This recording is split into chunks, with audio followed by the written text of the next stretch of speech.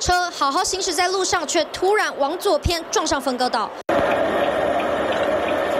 事发在今年二月，花莲县瑞穗乡台九线两百五十二公里处，驾驶疑似精神恍惚，造成一死三伤的意外。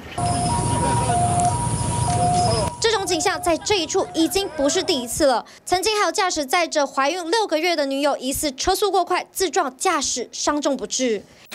一张又一张的超速罚单都发生在花莲台九线。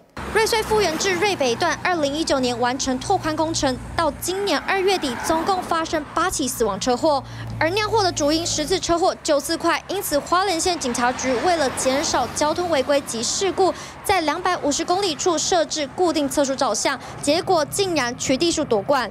从今年二月截至十月底，取缔两万一千零八件，再加上违规超速，处新台币一千两百元以上两千四百元以下的罚款。以最低金额计算，这些钱有百分之七十五会分配给各直辖市、县市政府，相当于有将近一千九百万充于国库。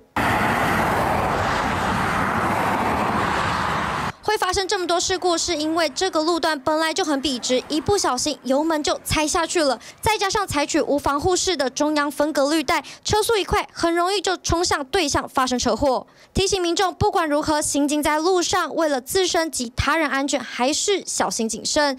TVB 新闻高中延伸的花莲采访报道。想看最完整的新闻内容，记得下载 TVBS 新闻网 APP。